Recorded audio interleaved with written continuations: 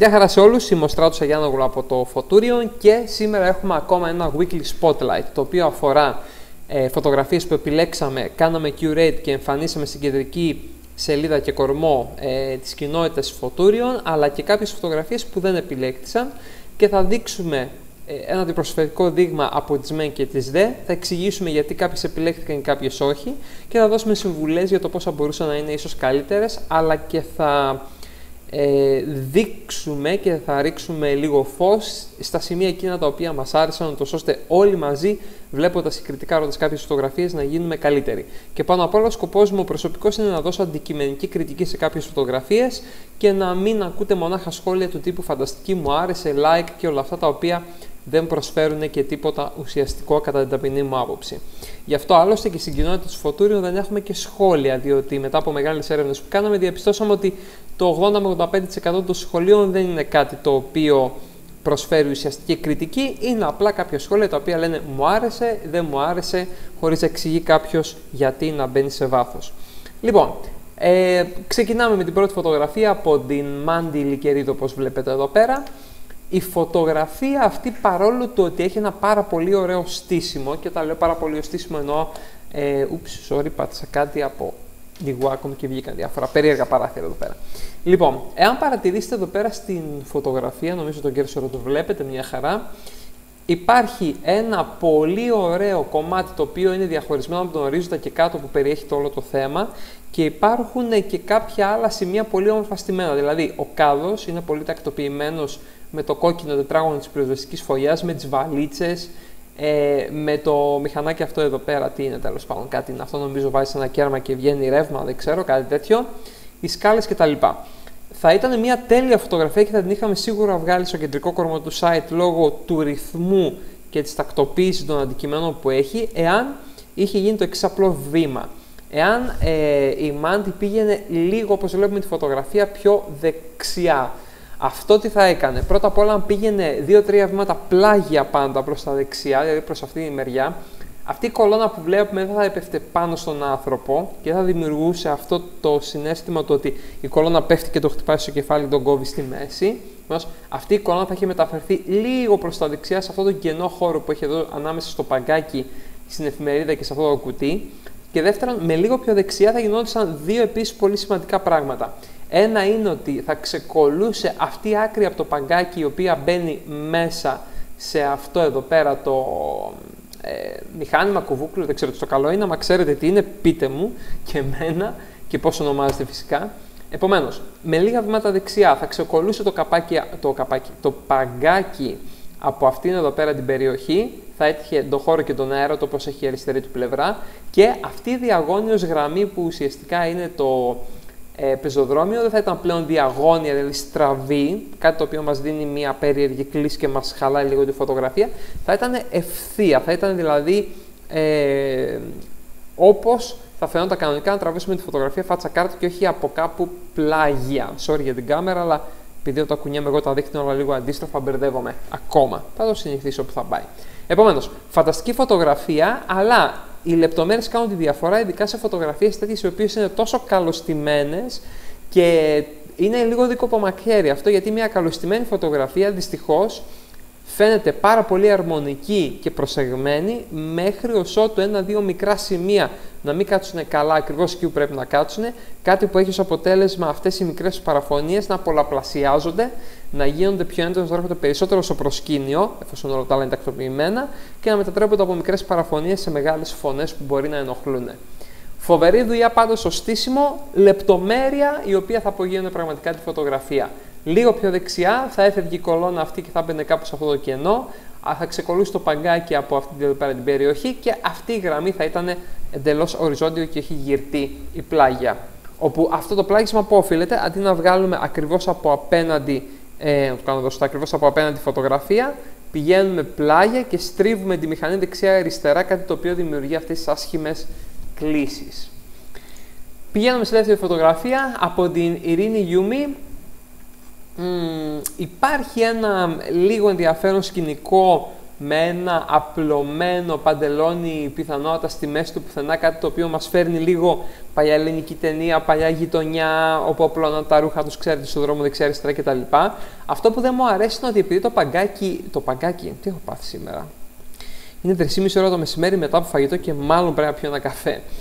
Το παντελόνι, όπως βλέπετε, παρόλο που έχει την κίνηση και ορείται και έχει καταγράψει και ένα μικρό θόλωμα εδώ λόγω της κίνησης, πολύ έξυπνο αυτό, ε, αυτό που με χαλάει είναι ότι επειδή είναι ασπρόμαυρη φωτογραφία και είναι και ασπρόμαυρο και το παντελόνι, πέφτει πάνω σε ένα σκούρο φόντο που είναι εδώ πέρα τα δέντρα και λίγο μπερδεύεται το φόντο με το θέμα και το εξαφανίζει και το καταπίνει. Εγώ τι θα έκανα σε αυτή την περίπτωση; Αυτό που θα έκανα εγώ προσωπικά είναι το εξής. Όπως βγάζω τη φωτογραφία, θα την παρατηρούσα στην οθόνη μου και αμέσως θα έσκυβα λίγο πιο χαμηλά. Σκύβοντας λίγο πιο χαμηλά, το παντελόνι, να το κάνω αυτό το χέρι, το παντελόνι θα ανέβαινε προς τα πάνω και θα πήγαινε κατά κύριο λόγο μέσα στον ουρανό. Οπότε θα υπήρχε τίποτα στο φόντο ε, να μπλεχτεί μαζί με το σκούρο το παντελόνι και θα φαινόταν πολύ πιο ξεκάθαρα. Και θα μου άρεσε περισσότερο ίσως και μια μινιμαλιστική φωτογραφία εντελώς όπου θα φαινόταν μόνο το παντελόνι στον ουρανό να κουνιέται και να τεινάζεται. Θα δεις και είναι ζωντανό ή πάει να τρέξει, χωρίς φυσικά να έχει κάποιον άνθρωπο μέσα του για να προκαλεί αυτή την κίνηση. Καλούτσκι ιδέα, νομίζω ότι θέλει ε, λίγο ως πολύ καλύτερη υλοποίηση όσον αφορά το θέμα της λήψης. Και πάντα λέω ότι αν θέλετε να βρείτε έναν εύκολο και πολύ χρήσιμο και πρακτικό τρόπο για να κάνετε καλύτερες φωτογραφίες σας, αλλάξτε τη γωνία λήψης. Τραβήξτε από πολύ ψηλά, τραβήξτε από πολύ χαμηλά και όχι συνέχεια από το ύψος του ματιού. Δοκιμάστε να βγάλετε ένα θέμα το οποίο, αν σας φαίνεται καλό, μην φύγετε.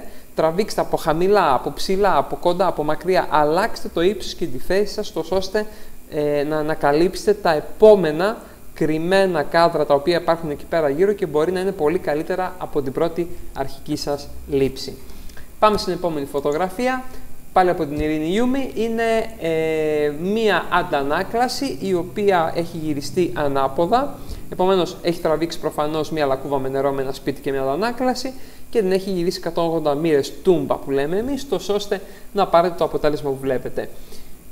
Είναι ένα πολύ παιγμένο, πολύ συνηθισμένο, εύκολη λύσης θέμα, το οποίο το έχουν φωτογραφίσει όλοι ε, θα ήθελα σε μια αντανάκλαση να δω λίγο κάτι παραπάνω. Θα ήθελα δηλαδή να δω μια άλλη ιδέα. Θα μπορούσε ίσως για να κάνει την αντανάκλαση να φαίνεται ακόμα περισσότερο σαν αντανάκλαση σε ένα υγρό επάνω και όχι αυτό το ξερό, το πολύ ήρεμο και απλοϊκό πράγμα, να πετάξει ένα πετραδάκι μέσα στο νερό. Οπότε, ειρήνη, όταν βλέπεις κάτι τέτοιο, προσπάθησε να βγάλεις αυτή τη λήψη, αλλά μετά προσπάθησε να κάνεις κάποια άλλα πράγματα. Πέτα ένα πετραδάκι να δημιουργηθούν μερικά κύματα, βγάλε μόνο την αντανάκλαση και όχι το έδαφος ε, που έχει στο κάτω μέρος του κάδρου, ώστε να φαίνεται σαν να έχει παραμορφωθεί πραγματικότητα και να κυματίζει σαν να θυμίζει όνειρο ή κάτι τέτοιο.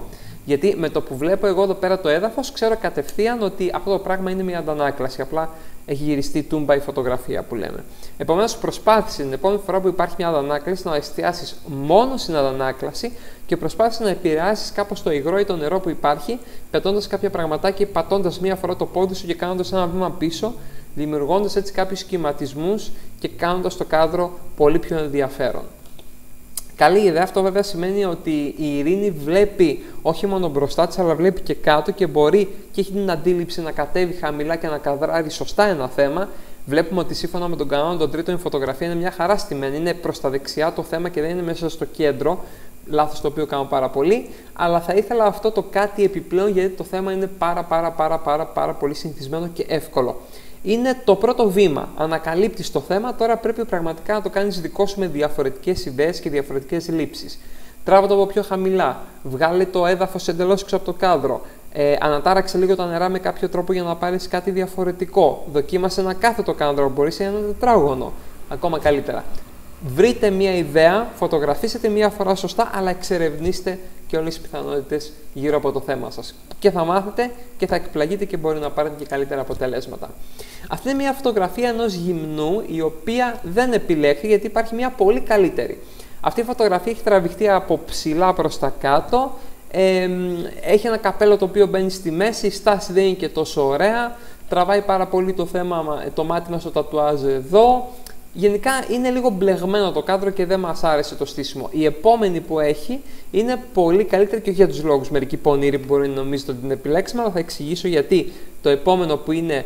Ε, το επόμενο κάδρο μάλλον που θα δούμε που είναι από το ίδιο session και είναι πάλι με γυμνό, είναι πολύ καλύτερο από αυτό. Θέλω λίγο να θυμάσαι αυτή η φωτογραφία γιατί είναι χωρίς να έχει κάτι ιδιαίτερο. Στην επόμενη λήψη θα εξηγήσω τι εννοώ όταν λέω ιδιαίτερο. Αυτή είναι η πρώτη εξερευνητική λήψη, θα λέγαμε. Μετά όμως έχουμε καλύτερα αποτελέσματα από την αγγελική. Ε, Γιάννης Δημαρίδη, μία ακόμα φωτογραφία που δεν επιλέξαμε διότι είναι πάρα πολύ απλή, δεν έχει ένα σημείο αναφοράς, δεν ξέρω πού να κοιτάξω, δεν υπάρχει ένα κεντρικό θέμα μέσα στη φωτογραφία, απλά υπάρχουν κάποια βράχια που σχηματίζουν κάποιες γραμμές στο Ιωβασίλεμα. Δεν υπάρχουν δραματικά σύννεφα στον ουρανό, δεν είναι ένα πολύ έντονο Ιωβασίλεμα με σύννεφα που έχουν πάρει έντονα χρώματα και ο ουρανός έχει πάρει φωτιά. Ε, δεν ξέρω, θα ήθελα κάτι. Ίσως να στεκόταν κάποιος άνθρωπος εδώ πάνω όρθιος ή αν ο ουρανός είχε κάποια σύννεφα να ανεβάζαμε πιο ψηλά τη φωτογραφική μηχανή, να τη γέρναμε προς τα επάνω, εδώ το φέρω δωστά, να τη γέρναμε προς τα επάνω για να πάρουμε περισσότερο κομμάτι του ουρανού αν είχε σύννεφα. Ε, νομίζω όλα αυτά θα βοηθούσαν πάρα πολύ, αλλά έτσι είναι μια απλή λήψη που δεν έκανε ο καθένας χωρίς πάρα πολύ σκέψη. Sorry Γιάννη, ε, αλλά νομίζω ότι αυτή η φωτογραφία σου που βλέπουμε εδώ σε σχέση με αυτή η οποία είναι τρομερή είναι μέρα με τη νύχτα. Σαν να έβγαλαν δύο διαφορετικοί φωτογράφοι. Αυτή πραγματικά η φωτογραφία είναι respect, είναι απίστευτη, είναι τρομερή. Μου άρεσε πάρα πολύ λίγο της ατμοσφαιράς της. Και αυτή η φωτογραφία που βλέπεις ότι έχει ένα δραματικό ουρανό και τα νερά τα οποία σκάνε και δίνουν κίνηση εδώ, σίγουρα είναι πολύ καλύτερες από αυτήν εδώ. Αν ήμουν εγώ στη θέση σου και ήθελα να παρουσιάσω ένα, ένα αντιπροσωπευτικό συγγνώμη, δείγμα δουλειάς μου, αυτή η φωτογραφία που αποτελεί λίγο παραφωνία για μένα θα την έσβηνα εντελώς από το πορτοφόλιό μου. Γιατί βλέπεις μια πολύ καλή φωτογραφία, πολύ καλή φωτογραφία, πολύ καλή φωτογραφία, συνηθίζεις σε ένα ψηλό επίπεδο και ξαφνικά βλέπεις κάτι το οποίο δεν είναι καθόλου καλό και ξέρετε, λένε ότι η φωτογράφη είναι τόσο καλή όσο είναι η χειρότερη τη φωτογραφία που δείχνουν έξω στο κοινό. Οπότε, Γιάννη, αν ήμουν στη θέση αυτή, μπορεί να την έσβηνα. Πάμε παρακάτω. Ο Γιάννης Αμεμισή. Ο Στέφανος ε, περήφανος. Έχει ανεβάσει την 20η του φωτογραφία εδώ. Sky Aquarium. Ο τίτλος δεν μου λέει τίποτα και δεν συνδέεται καθόλου με τη φωτογραφία. Ένα λαθάκι είναι αυτό. Δεύτερον, είναι μια φωτογραφία υπερεπεξεργασμένη. Τα σύννεφα σε καμία περίπτωση δεν πρόκειται να είναι έτσι στην πραγματικότητα. Τρίτον, πάλι δεν υπάρχει ένα κεντρικό σημείο αναφοράς. Δεν υπάρχει κάτι δηλαδή το οποίο να μου τραβήξει το βλέμμα. Βλέπω απλά μια flat φωτογραφία με έναν πολύ επεξεργασμένο ουρανό και κάποια υποφωτισμένα σημεία ή να μην πω ότι και τα περισσότερα σημεία η όλη φωτογραφία είναι αρκετά υποφωτισμένη με ψόφια χρώματα. Εγώ θα πρότεινα ότι επειδή υπάρχει ένα σημείο ενδιαφέροντος αυτός ο κόκκινος θάμνος ανάμεσα σε όλα αυτά τα πράσινα, ίσως, ίσως λέω να ήταν καλύτερο κάδρο αν έκανες ένα κάθετο κάδρο το οποίο έπαιρνε ένα μέρος από αυτό το κόκκινο θάμνο και όλα αυτά τα πράσινα, οπότε το κόκκινο με τα υπόλοιπα, το ξερό με τα χλωρά ίσως θα έκανε μια καλή αντίθεση και θα ήταν σαν σημείο αναφοράς εκεί πέρα μέσα και με το υπόλοιπο κάθετο κάδρο να δίναμε τη μερίδα του λέοντος στον ουρανό.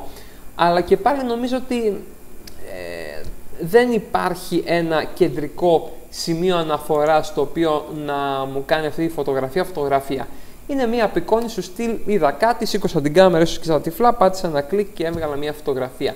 Σε αντίθεση με αυτή τη φωτογραφία του Στέφανο, η οποία πραγματικά έχει αποτυπώσει με ένα μοναδικό και δικό του τρόπο ο Στέφανος ένα πολυσυνηθισμένο και πολυφωτογραφημένο σημείο μέσα στην πόλη της Αθήνας. Αυτή η φωτογραφία πραγματικά έχει κάτι πολύ ενδιαφέρον και έχει μια φωτογραφική ματιά και επεξεργασία που δένει με το θέμα αρμονικά και πραγματικά αξίζει πολλά μπράβο σε σχέση με την ε, φωτογραφία που μόλις έδειξε η οποία είναι πάλι μια μικρή παραφωνία στο σύνολο της δουλειάς που μπορεί να έχει ο Στέφανος. Περνάμε τώρα στα καλά. Μάρκος Κυπριανός, ε, ένας φωτογράφος που παρακολουθούμε πολύ στενά και εκτιμούμε ιδιαίτερα εδώ πέρα σε φωτούριον. Μπορεί να μην έχει πάρα πολλές φωτογραφίες, έχει μόνο 11, αλλά είναι όλες προσεγμένες μία και μία. Αξίζει τον κόπο να το ψάξετε, να πατήσετε στην πρώτη φωτογραφία που θα βγει μπροστά σας του Μάρκου στην αναζήτηση και να δείτε δουλειά του. Εδώ πέρα τώρα τι μου αρέσει. Μου αρέσει το βλέμμα που έχει αποτυπώσει στο συγκεκριμένο άγνωστο κύριο ο Μάρκος. Ε, είναι σαν να απολύει, σαν να σκέφτεται, σαν να ταξιδεύει κάπου αλλού και έχει και λίγο καταθλιπτικό. Το οποίο καταθλιπτικό βλέμμα και mood ταιριάζει απόλυτα με το υπόλοιπο περιβάλλοντα χώρο και τη βροχή που βλέπουμε ότι ε, ρίχνει ή έχει ρίξει και έχει σταματήσει. Τα τζάμια αυτά τα οποία βεργαμένα δίνουν μια πολύ διαφορετική οπτική σε μια φωτογραφία, σαν αυτήν. Ε, είναι σαν να είναι ζαρωμένο το μουσκεμένο τζάμι όπως είναι ζαρωμένο και παλιό το πρόσωπο του συγκεκριμένου κυρίου. Μου αρέσει πραγματικά το ότι έχει προσέξει ο Μάρκος να μην είναι το κεφάλι σε ένα σημείο που δεν είναι καθαρό, να μην βγαίνουν καν και να μην παίρνουν γραμμές και να το κόβουν στη μέση. Είναι πραγματικά μέσα σε ένα καθαρό σημείο και έχει εφαρμόσει άψογα και τον κανόνα του κάδρου μέσα στο κάδρο. Δηλαδή, τι εννοώ, έχουμε το κάδρο μας το οποίο είναι αυτό εδώ πέρα, το πραγματικό κάδρο το οποίο είναι τα όρια του φωτογραφικού κάδρου και μέσα εδώ υπάρχει ένα δεύτερο κάδρο, αυτό το άσπρο παράθυρο που βλέπετε που είναι πίσω από το κεφάλι, το οποίο περικλεί και τραβάει το βλέμμα μας στο θέμα που είναι ο συγκεκριμένος κύριος. Συγχαρητήρια για αυτή η φωτογραφία, μου άρεσε πάρα πολύ. Ε, πολλά μπράβο. Τίποτα άλλο δεν έχω να πω και φυσικά τη συγκεκριμένη την έχουμε εγκρίνει, έτσι, είναι δημόσια. Λοιπόν, η πρώτη φωτογραφία που είναι η Αναστασία είναι μια πάρα πάρα πάρα πολύ ωραία φωτογραφία. Μας άρεσε ιδιαίτερα, μας ξετρέλανε να πω την αλήθεια. Έχει κάνει ένα φοβερό φωτομοντάζ, το οποίο όμως και δεν είναι ορατό ότι είναι φωτομοντάζ, α, αυτό είναι που το κάνει πολύ επιτυχημένο, και δεύτερον, υπάρχει μία μικρή ιστορία. Δεν είναι εκείνο το φωτομοντάζ το οποίο βασίζεται μόνο στα ειδικά εφέ, στα lens flare, στα έντονα χρώματα κτλ. Ίσα ίσα υπάρχει ένα σχεδόν μονοχρωματικό κάδρο το οποίο ε, τραβάει το βλέμμα μας στην κοπέλα η οποία κάθεται σκεφτική και προσπαθούμε να καταλάβουμε ποια είναι η ιστορία πίσω από αυτό το κάδρο το οποίο έχει δημιουργηθεί. Δηλατρέψαμε, πολλά συγχαρητήρια στην Αναστασία τόσο για τη σύλληψη της ιδέας όσο και για την άψογη υλοποίηση σε ό,τι αφορά το ψηφιακό κολλάζ. Μπορείτε να ψάξετε Αναστασία να δείτε τη μοναδική της φωτογραφία που έχει μέχρι τώρα στη Φωτούριον. Ευελπιστούμε ότι θα ανεβάσει και άλλες, ειδικά μετά από αυτό το βίντεο και μετά την προβολή που θα κάνουμε σε αυτή τη φωτογραφία, η οποία πραγματικά αξίζει. Ε, μία ακόμα φωτογραφία από τον Πάνο Καλτσά, ο οποίος μας έχει ενθουσιάσει με αυτή εδώ πέρα τη λήψη, η οποία είναι άκρος ατμοσφαιρική, σχεδόν μονόχρωμο το περιβάλλον χωρίς πολλά χρώματα, τα οποία είναι πολύ υποτονισμένα, κάτι το οποίο φέρνει το θέμα ε, μπροστά, έχει τρομερή ατμόσφαιρα, ε, είναι ψηλά, έχει παντού σύννεφα, η κοπέλα είναι στην άκρη του γκρεμού, δεν ξέρουμε τι σκέφτεται, δεν ξέρουμε τι θα κάνει. Δημιουργούνται διάφορες ιστορίες στο μυαλό του θεατή και η στάση που έχει αυτή που κρατάει τον εαυτό της αγκαλιά ουσιαστικά δείχνει μια ευάλωτη κατάσταση. Είναι στεναχωρημένη, θέλει να πηδήξει να αυτοκτονήσει, δεν ξέρω, θέλει, σκέφτεται να κάνει κάτι, αναπολύει κάτι, ψάχνει κάποιον. Πολλά σενάρια στο μυαλό ενός θεατή μπορούν να δημιουργηθούν από αυτό το τόσο απλό αλλά τόσο επιτυχημένο κάδρο προσωπικά για εμένα. Έχει ατμόσφαιρα, έχει φωτογραφικό στήσιμο, παίζει με τον κανόνα των τρίτων πάρα πολύ καλά. Υπάρχει ένα θέμα το οποίο ξεχωρίζει μέσα στο κάδρο από το υπόλοιπο φόντο, το οποίο είναι όπως είπα σχεδόν μονοχρωματικό. Και γενικά όλες οι μικρές λεπτομέρειες, το μαλλί που είναι αναμαγιασμένο και δεν είναι σούπερ φτιαγμένο, μας ε, προδιαθέτει για σίγουρα κάτι ατμοσφαιρικό και ίσως και κάτι λίγο θλιβερό ή τουλάχιστον ας μείνουμε σε ατμοσφαιρικό. Πολύ ωραία φωτογραφία από το πάνω καλτσάν, την οποία φυσικά και έχουμε εγκρίνει και την προβάλλουμε στην κεντρική σελίδα της Φωτούριων και στους ε, χιλιάδες επισκέπτες που έρχονται κάθε μήνα και βλέπουν την κεντρική μας σελίδα. Και τους ευχαριστούμε πολύ που μας αφιερώνουν τον χρόνο κτλ. κτλ. Τώρα, χωρίς προειδοποίηση, το γυμνό, αν έχετε παιδιά, αν έχετε οτιδήποτε, βγάλετε από την οθόνη. Γιατί μας άρεσε πάρα πολύ αυτή η φωτογραφία. Προσέξτε τώρα τι γίνεται. Σε σχέση με τη λήψη μισό λεπτό να τη βρω αυτήν, οι διαφορές είναι εξής. Α. Έχουμε καλύτερη τοποθέτηση του σώματος σε αυτή την ε, περίπτωση. Βλέπουμε ότι τα χέρια και το σώμα είναι πολύ ωραία και πολύ αρμονικά στημένα, ενώ εδώ πέρα φαίνεται να είναι λίγο, συγγνώμη, η κοπέλα αμήχανα, δεν ξέρει πώς να κάτσει, δεν είναι άνετα, ζορίζεται, το ένα πόδι πατάει λίγο περίεργα, δεν δουλεύει η πόζα. Ενώ εδώ πέρα δουλεύει άψογα, είναι πιο χαλαρή, είναι πιο άνετη. Δεύτερον, μυστήριο. Η σκιά που χτυπάει από πάνω κρύβει το πρόσωπό της και το αφήνει σχεδόν μαύρο. Υπάρχει μόνο μία μικρή λεπτομέρεια με το χαλκά που είναι το σκουλαρίκι στο πρόσωπό της. Τρίτον, εκμεταλλεύεται η Αγγελική πάρα πάρα πάρα πολύ καλά τις γραμμές που έχει το καπέλο. Βλέπετε ότι οι γραμμές που έχουν εδώ πέρα ε, πάνω στο γύσο του καπέλου, οι γραμμές που υπάρχουν στο γύσο του καπέλου, δημιουργούν αυτό το φανταστικό μοτίβο στο σώμα της κοπέλας, το οποίο σίγουρα τραβάει την ομορφιά από το σημείο το οποίο οποιοδήποτε άντρας θα πήγαινε να κοιτάξει και μόνο και αν είσαι από αυτούς τους άντρες που κοιτάνε μόνο αυτό το σημείο, είσαι κάφρος, είναι φωτογραφία, δεν είναι τσόντας, συγγνώμη για την έκφραση. Λοιπόν, ε, πραγματικά είναι μια προσεγμένη φωτογραφία η οποία δείχνει η, ότι η Αγγελική έχει κάποιες καλλιτεχνικές τάσεις σε αυτό εδώ πέρα το κομμάτι και δεν αποτυπώνει μόνο το γυμνό σώμα, αλλά αποτυπώνει όλα τα στοιχεία και τα αδένιο που είναι η πόζα, το φόντο πίσω, το ασπρόμαυρο, ε, ο ίος που χρησιμοποιείται πολύ έξυπνα συνδυασμό με το καπέλο δημιουργεί αυτό το φοβερό μοτίβο που βλέπουμε και το πρόσωπο το οποίο κρύβεται μέσα στη σκιά και δημιουργείται μια αίσθηση μυστηρίου. Το σώμα που είναι πολύ πιο άνετα στημένο, η κοπέλα πλέον φαίνεται ότι δεν είναι αγχωμένη και ο φωτογράφος ξέρει ότι ξέρει, μα φαίνεται συγγνώμη ότι ξέρει τι κάνει. Ε, γενικά μία από τις πιο επιτυχημένες για μένα φωτογραφίες γυμνού που έχουμε δει ποτέ στην Φωτούριον και αξίζουν πολλά μπράβο, πολλά share και πολλά like. Θέλω αυτό το views που λέει 14 να γίνει πολύ πολύ πολύ μεγαλύτερο σαν νούμερο. Θέλω να τη δουν στο δυνατόν περισσότερος κόσμος γίνεται. Οπότε δείτε τη, μοιραστείτε τη. Πραγματικά είναι μια πολύ έξυπνη ιδέα για το πώς με πολύ απλά και λιτά πράγματα και λιτά κάδρα μπορούμε να φτιάξουμε ένα ιδιαίτερα ατμοσφαιρικό και διαφορετικό κάδρο. Και τελευταία φωτογραφία είναι η φωτογραφία της εβδομάδας που είχαμε στην Φωτούρινο για αυτήν την εβδομάδα από το θέμα κόκκινο της Μαρίας Αγγελάκη υπάρχει ένταση και κίνηση λόγω του κόκκινου χρώματος, το οποίο κομμάτι έντασης και κίνησης αποτυπώνεται πολύ έξυπνα με τις αργές ταχύτητες. Ε, βλέπουμε ότι ο καλλιτέχνης που παίζει κιθάρα αυτή τη στιγμή, που έπεσε κιθάρα εκείνη τη στιγμή, έχει αποτυπωθεί με ένα ελαφρύ θόλωμα, οπότε υπάρχει κίνηση και ένταση τόσο στο performance, όσο και στο φόντο πίσω με το κόκκινο χρώμα, τετράγωνο κάδρο το οποίο λειτουργεί πάρα πολύ ωραία εδώ πέρα ο κανόνας των τρίτων εφαρμόζεται πάρα πολύ καλά στο τετράγωνο κάδρο εδώ και γενικά αυτό που αντιπροσωπεύει το κόκκινο χρώμα με τον τρόπο που έχει αποτυπωθεί το θέμα δέουν αρμονικά για να μας δώσουν ένταση και κίνηση ενός ε, σκηνικού σε ένα live performance όπου αν απλά η Μαρία να αποτύπωνε ακίνητο και παγωμένο τον καλλιτέχνη νομίζω ότι θα είχαν κατά πολύ το κάδρο. Γι' αυτό λοιπόν η αργή ταχύτητα εδώ πέρα βοήθησε ούτως ώστε να θολώσει τόσο, ούτως ώστε α να αποτυπώσει την κίνηση, αλλά και β να μην παραθολώσει και χαθεί εντελώς ο καλλιτέχνης και φαίνεται σαν μια φιγούρα που δεν μπορούμε να ξεχωρίσουμε του τι γίνεται. Δεν μπορώ να καταλάβω επακριβώς αν έχει βαρέσει κάποιο φλάσ ή απλά ένας δυνατός προβολέ πάει επάνω του εκείνη τη στιγμή και έχει ψηλοπαγώσει, αλλά δεν έχει σημασία. Σημασία έχει ότι είναι μια φανταστική λήψη που δένει το χρώμα με το θέμα αρμονικά και δημιουργεί αυτό το τρομερό συνέστημα. Έχουμε μόλις τέσσερις μέρες ακόμα συν τη σημερινή για τη φωτογραφική αποστολή, την πανελλαδική της φωτορίων που έχει σχέση με το χρώμα κόκκινο. Έχουμε ήδη λάβει πάρα πολλές φωτογραφίες που έχουν το θέμα κόκκινο και ευχαριστούμε πάρα πολύ για κάπου εδώ αυτό. Ε, μπορείτε για τις επόμενες 4 ημέρες να λάβετε και εσείς μέρος, είναι δωρεάν. Πηγαίνετε στη φωτούριον.gr αν έχετε φωτογραφία ανεβάζετε τη φωτογραφία σας και βάζετε σαν λέξη κλειδί το FM2, 2 εδώ κάπου, θα τη μάθουμε την κάμερα που θα πάει.